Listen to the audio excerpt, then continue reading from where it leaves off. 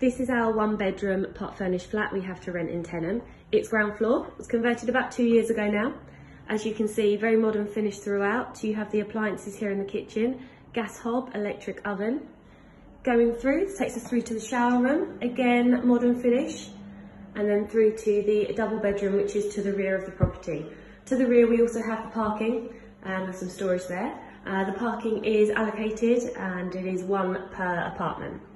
This property is available to rent now. If you'd like to call me on 01634 565 888, I'd be happy to answer any questions.